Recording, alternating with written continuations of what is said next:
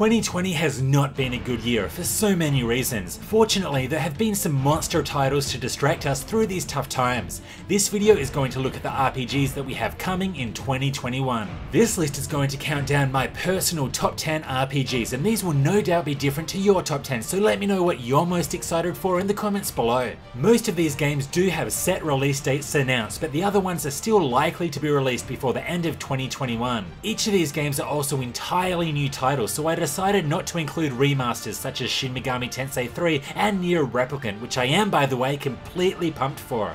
Before we begin, if you liked this, it would help out a lot if you hit like and subbed for loads more RPG content. Also, Happy New Year, I hope that you all have an amazing 2021. Alright, let's get into it.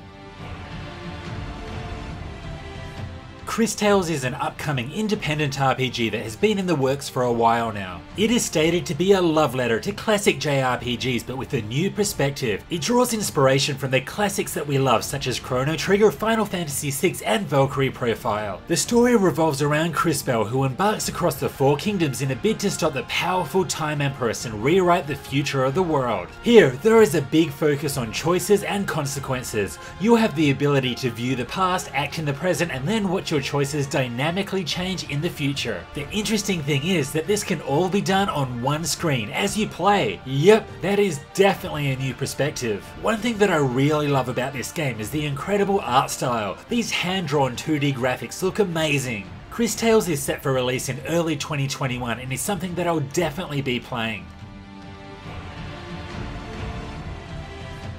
Bravely Default 2 is something that I know a lot of you guys are interested in. This JRPG is the third in the Bravely series and tells a completely unrelated story to Bravely Default 1 and Bravely 2nd. Set in a new world on the continent of Excillant, the game follows four main characters with its story revolving around the four elemental crystals capable of bringing destruction to the planet. Fans of the original two titles will be happy to see that the Brave and Default combat mechanics make a return as well as a focus on jobs and mixing and matching their abilities which is a staple of the series. Bravely Default 2 is set for release on February 26 on the Switch. Next, we have the newest mainline title in the Monster Hunter series, Monster Hunter Rise. If you've played this series before, you'll know what to expect. You play the role of a player-created monster hunter and take on tasks in the village which usually involves slaying some kind of monster. Then it's a matter of using your loot to upgrade your gear so that you can take on even more difficult monsters. Rise will feature some of our favourite monsters from the past as well as a host of brand new ones and the 14 weapon types that were present in Monster Hunter World. The unique feature of Rise will be the focus on vertical movement through this world. To help with this vertical scaling, you'll be given a bunch of new tools as well as the ability to mount and ride the new dog-like companion Palamute. I've had loads of fun with the Monster Hunter series in the past and I'm sure that Rise will be no different. Monster Hunter Rise isn't too far away either and will be released on the Switch on March 26.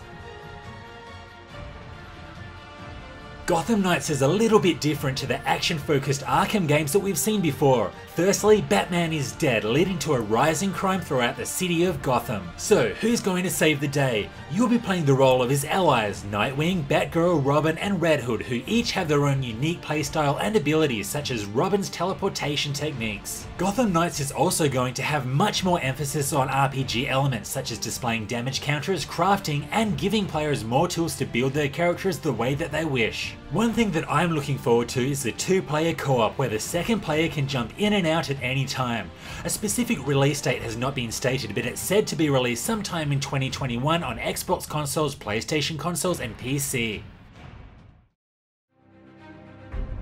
Ys 9 Monstrum Nox will be the next title released by Nihon Falcom, who are quickly becoming one of my favourite RPG developers of all time. Unlike the Trail series, Ys games are pretty close to being standalone titles. In Ys 9, most of the settings, locations, and characters, except for the protagonist Adol, are new, so it would be fine to jump straight into this without playing any of the other titles. The game begins with Adol being thrown into prison after being falsely accused as a suspect involved in the disappearance of a military fleet. During the course of the game, he gets caught up in an incident involving this prison city and the Monstrum who are being set to possess unique supernatural powers. As you would expect, the action combat returns and without a doubt we'll be in for another dose of Falcom ear candy. Ys 9 is scheduled for a February 22 release on the PlayStation 4 with the Switch and PC versions being released later in the year. I spent much of my childhood casting spells and watching Harry Potter, and that's partly why this franchise's newest title, Hogwarts Legacy, has me so excited. That, and the fact that this game looks awesome. Hogwarts Legacy is an action RPG set in the late 1800s. You play the role of a Hogwarts student able to explore an open world of popular Harry Potter locations including the Forbidden Forest and Hogsmeade. Not too much is known at this point, but the game will allow you to brew potions and tame magical beasts, as well as having a morality system. We don't have an exact release date yet, but it will be released on Xbox, PlayStation, and PC. Tales of Arise was on my list last year, but its 2020 release was unfortunately delayed until 2021 due to the pandemic. Arise takes place in a world divided by the medieval Dahna and the technologically advanced Rena, who holds power over Dahna. The visuals are clearly a step up from Tales of Berseria, which was released 4 years ago, far too long if you ask me. Bring on Tales of Arise. Before we get into the top 3 titles, here's some upcoming RPGs worthy of an honourable mention that don't quite make the cut for me. Now, it feels like we've just talked about Monster Hunter, probably because we did just talk about Monster Hunter. Monster Hunter Stories 2 Wings of Ruin is a spin-off and the sequel to the 3DS exclusive which was later released on Android and iOS. This spin-off series changes up the formula from the mainline games which has always been to destroy these giant beasts, upgrade your equipment, then destroy even stronger monsters. This time there is much more of a focus on JRPG elements such as story with the main character able to use a kinship stone to form bonds with these monsters monsters. I can't wait for a chance to ride a Rathalos into battle rather than, you know, being killed by one over and over again. There's also going to be compatibility features between this game and the new mainline title Monster Hunter Rise. Monster Hunter Stories 2 is set for release later in 2021 on the Switch. Next we have Horizon Forbidden West. Yeah, I know this game looks awesome, and I know how good the first one probably is, but the fact that I haven't played it is the sole reason that it's not in my top 10. Forbidden West is the sequel to Zero Dawn and continues the story of Aloy who is sent on a quest to the Forbidden West to find the source of a mysterious plague that kills all that it infects. The open world this time will be larger and includes the element of underwater exploration. Yeah, I hate water in video games, but this game looks so good that I could probably forgive it. Forbidden West is set for a late 2021 release on the PS4 and PS5. At number 3 we have Shin Megami Tensei 5. The huge Megami Tensei series is in no shortage of quality JRPGs. I'm looking at you Persona. As you would expect, this latest title is set in Tokyo and will of course feature the ability to fuse with demons. Very little is currently known about this game, but producer Kazuyuki Yamai did state the following. There are surely many people frustrated by troubles both at home and abroad, such as the anxiety about finding a job and getting old, or terrorists and nuclear weapons. I want to make a Shin Megami Tensei game that can sympathise with such an era. SMT5 was first announced 4 years ago, so they've been working on it for quite a long time. Hopefully we'll learn more soon and see the Switch release in 2021.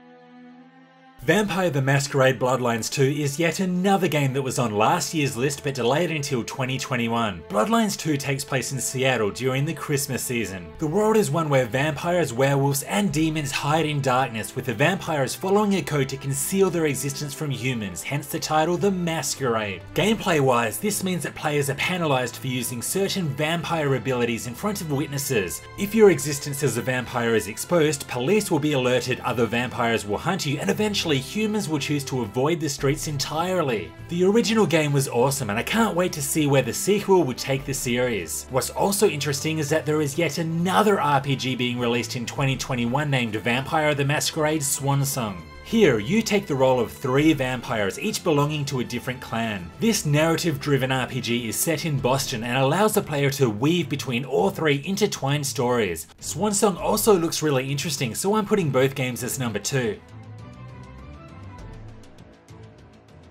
If you're a channel regular, my number one probably won't surprise you at all. Having undertaken the massive task of playing through all 9 Trails titles in the space of a few months, I can safely say that this is one of my top RPG series of all time. Seriously, it's right up there with Suikoden. Every single time I see the trailer and hear the epic music, I just think, whoa, in a way that no other game on this list even comes close to doing. That is why Hajimari no Kiseki is my number one. Hajimari takes place after the events of Cold Steel 4 and focuses on three main protagonists. We have Rean from the Cold Steel series, Lloyd from the Crossbell arc, and the Mysterious C. The game's perspective changes between these characters through the cross-story mechanic, which reminds me a lot of the Trinity Sight system of Suikoden 3. Look, if you've played through the entire series, you'll understand why this game and the series in general is so incredible. If not, do yourself a favour and look into it.